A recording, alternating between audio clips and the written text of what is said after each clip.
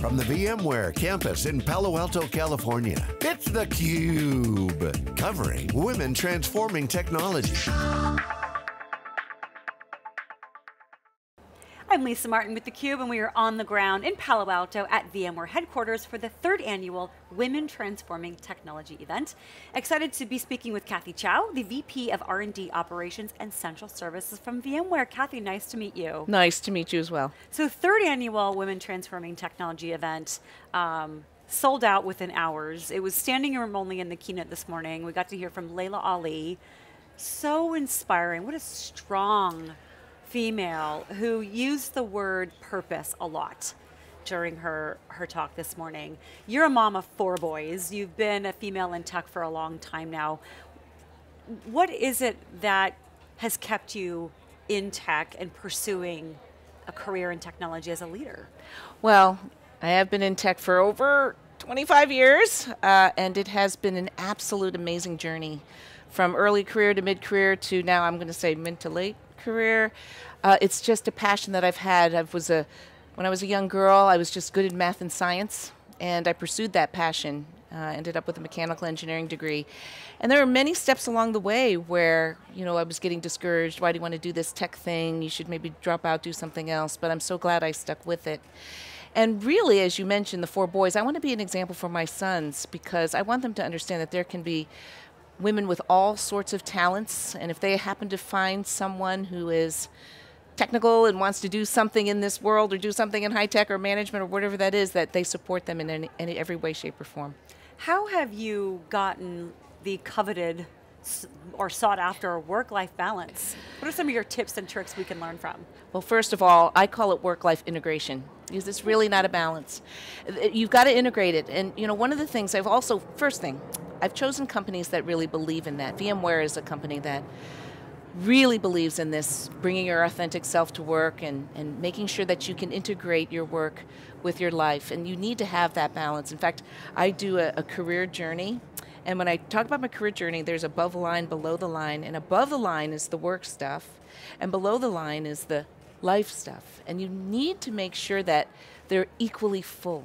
Because I believe that if you have a very, very full and busy life outside of work, it'll actually make you a better employee.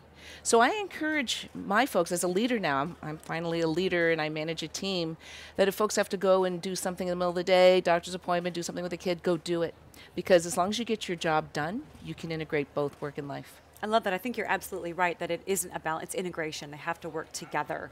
So from from your career in mechanical engineering, what were some of the things that that were you just sort of born with this innate, this is, I'm really interested in this in terms of, of keeping your head down and focused and, and getting into a fairly male dominated um, uh, industry and field, was that just sort of that innate that you were born with? Hey, I like this. I'm, I'm, yeah, I'm in a male-dominated field, but I don't care.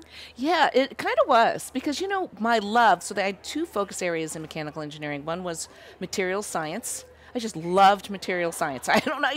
And so I ended up working for my first job out of Stanford was um, Instron Corporation, which is a materials testing firm.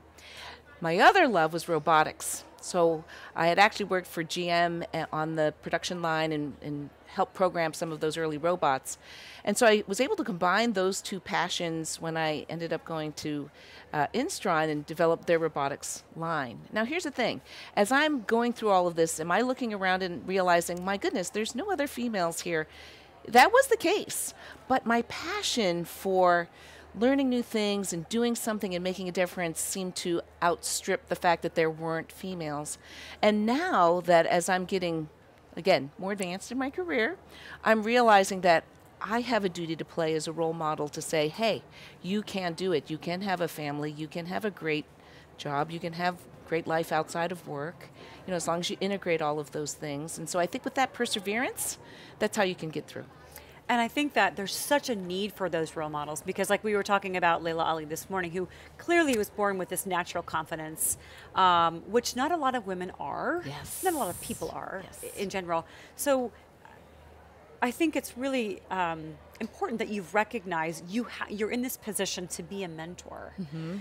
What are some of the, how do you advise either women that are in their early stage careers or even those maybe in the middle of their careers that are, that are pondering, Yeah. hey, I don't see any or a lot of strong female leaders in the executive suite. Should I stay here? You had that internally, but what's your advice to women who might be at that crossroads? Yeah.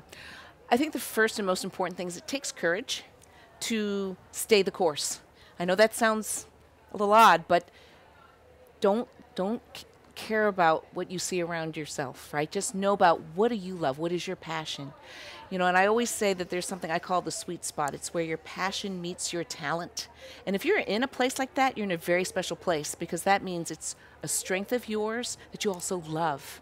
And if you do that, doesn't matter who else is around you. You know, one thing Laila said that I really loved and I really, really believe in myself is preparation. Uh, you know, you have to be prepared. So if as long as you are prepared, that's what gives you the confidence. You, we don't. Okay, maybe she was born confident. She came out of the womb confident. I certainly wasn't. I was someone who grew up with. I had really lacked a lot of self confidence. I was painfully shy. I had trouble speaking in front of people, and I worked very, very hard.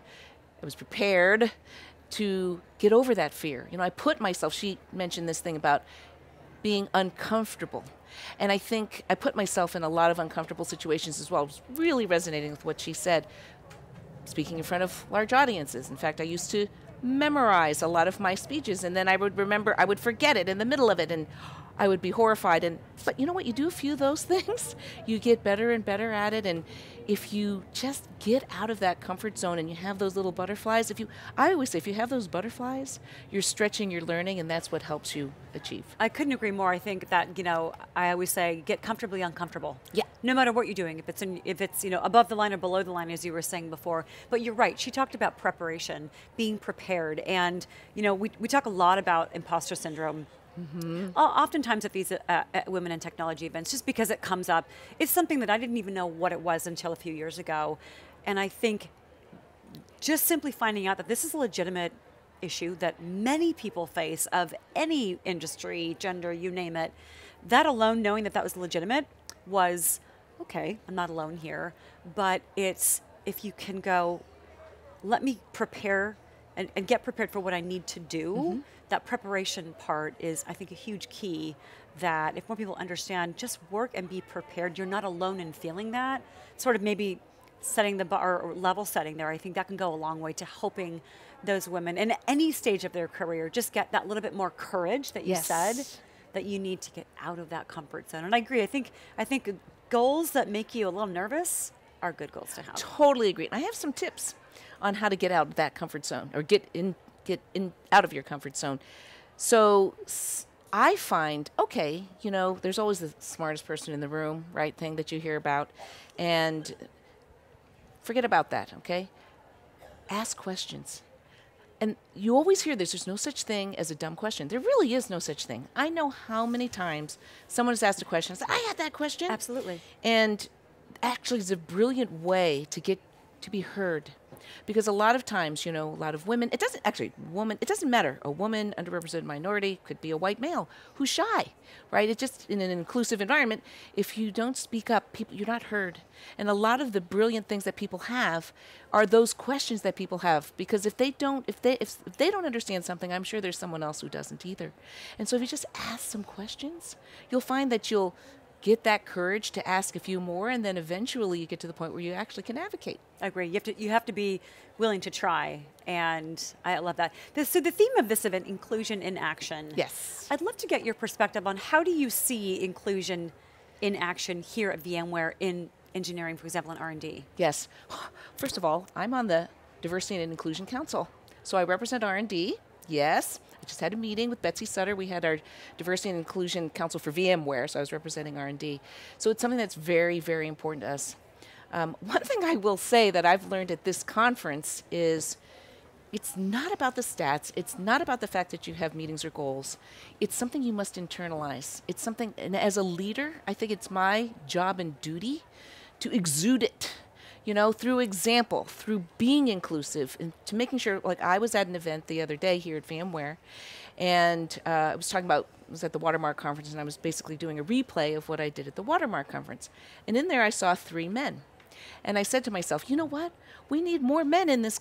We need more men at this event. And so, even at this conference today, I want to see more men. It's all about inclusion, right? And I think people sometimes forget that even though it says women transforming technology, men, women, whatever your sexual orientation, whatever that is, we all care about how women can transform technology. You don't have to be a woman to do that. Right. Well, one of the things that came out today was the great news about this massive investment that VMware is doing, 15 million, um, to create this lab at Stanford, Yep. this innovation lab. And we were talking with Betsy earlier, and actually in the press release, it it stayed it cited that McKinsey report that states that that companies that have a more diverse executive Yes. team no stats or anything, more diverse, are 21% more profitable. And it just seems like a no brainer. Every company wants to be profitable, right? Except an, an NPO. So if all you need to do is increase that, that thought diversity alone and you're more profitable, why is this so difficult for so many other organizations to culturally get an, adopt that mindset? Yeah. I, what's what I find fascinating is diversity and inclusion is obviously a very hot topic in Silicon Valley, right? Every company is either fear they're fearing of getting having their numbers publicly outed, or you know they're working on these things, and yet we're doing a lot of things, but the needle isn't moving, right? So then. I think it was mentioned today by um, professor from Stanford. She was saying there's not a silver bullet there's you know so and some of these things will take a long time one of the things that we talked about um, was this pipeline of it doesn't matter again young women underrepresented minorities whatever you say in the stem fields we need to encourage more of that okay and so what's interesting is there's more well certainly more females than males that are graduating right these days yet when you start off in a high tech company, you will see quite a bit of balance between male and female. I'll just use that as an example. It's even worse as far as, far as underre- underrepresented minorities. But as you move up the chain, what happens is the numbers just fall off. And one of the things, root causes that I see as an issue is that when these women look up at the top and say, I don't see women, or if I'm a person of color, I don't see a person of color in this leadership position, why should I continue? And then you see just a lot of attrition happening at those levels. And so what it takes is every single one of us internalizing how important this is. And I think when that happens, when it's not a, oh, it's a project, or oh, it's an initiative, or oh, it's a goal, and this, by the way, may take a decade or more, but once we all internalize this, I think that's when the needle's going to move. Yeah, we talked a lot earlier today about accelerating this because you're right, the attrition rates are incredibly high, much higher for women leaving technology than leaving other industries. Um, and, and a lot of women are looking for those role models, Yes. like, like somebody like you, for example. But um, I think the more awareness, the more consistent awareness we can get, and also the fact that, you know, in the last six months, we've had the Me Too movement explode onto the scene, mm-hmm. getting this Unlikely Alliance with Hollywood, Time's Up, Brotopia coming out a couple of months ago, and was something that I actually put off reading because I thought, I don't think I want to know. And I thought, actually, yes, I do.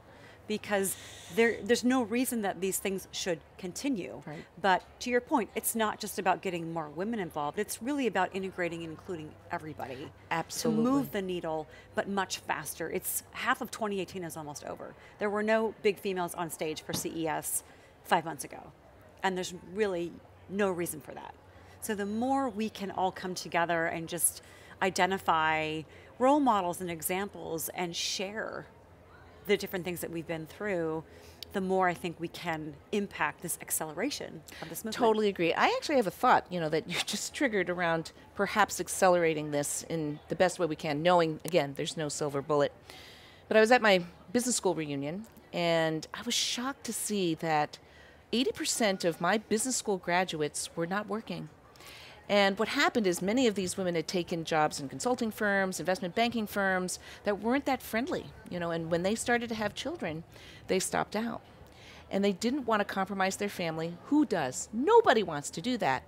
But when they wanted to come back, they found that they had either gotten off the, you know, they call it the mommy track, right? They train left the station, they couldn't make it back on, or they weren't willing to take a lower job. And so because of that, many of them ended up not working. And, and you know, that's sad because these are really, really smart. These were Harvard graduates, They are. Harvard Business School graduates um, that were not working. And so, like you said, it requires everyone to understand, right? It's the employers. A lot of these men need to understand that women, if they want, and by the way, it's not even women these days, it's young men who want to be with their families as well. Paternity leaves, time off with the kids, um, those sorts of things. You have to, if you allow those people that freedom, you know, when I was young, I felt like I went through this by myself. So I had three kids, five and under. I was, my career was not progressing. I was just doing lateral moves and I didn't feel like I was successful in anything. Not successful in my job, not successful at home, and then I had no friends because I was too busy at work and home. But if I had more of a support network at the time, fortunately I didn't drop out. I could have. I think many people do. So if we can provide more support at that really important time when they're raising their families, people can see that, hey, I can have a great family life and also a great work life so key just for support alone. And that's one of the things that I, I, think is really exciting about Women Transforming Technology. It's this consortium of organizations and industry and academia and nonprofits coming together to, to to identify and tackle these issues mm-hmm. that we're facing because the issues that women are facing are issues that corporations profitable corporations are facing but to connect on these uh, these challenge points, support, provide that support in that network, and also, to your point, maybe even providing uh, an unlikely mentor to somebody yes. who in, might have been in your position where I don't feel like I'm being successful anywhere, but you stuck with it, and you might have at times gone, I don't know why I'm sticking with this, but you had, you know, some in, intestinal fortitude to do that. More of those um, supportive and mentoring voices and people, the more we can elevate them and, and you know, uh, show them to other people who might be struggling, the better we're going to be able to move this needle. Completely agree. And you know what? They always say it takes a village, right? It takes a village to raise a family. It takes a village to work and do what you need to do and make a change in the world. And we all need to do this together. And by the way, there's nothing more inclusive than that, is there? Right. We all have to deal with this. Doesn't matter your sexual orientation, your age, your gender, your ethnicity, it doesn't matter. We all share in this common bond, right, around how do we integrate our work in our life.